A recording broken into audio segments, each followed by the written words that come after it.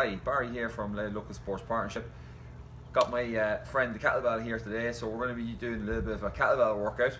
This kettlebell workout is something that's a bit more advanced. If you haven't got a kettlebell, you can use dumbbells instead.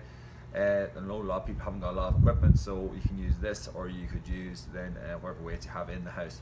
So the workout's going to consist of six exercises done back to back, 30 seconds with a 15 second rest between each exercise, and you're going to do that four times. All right.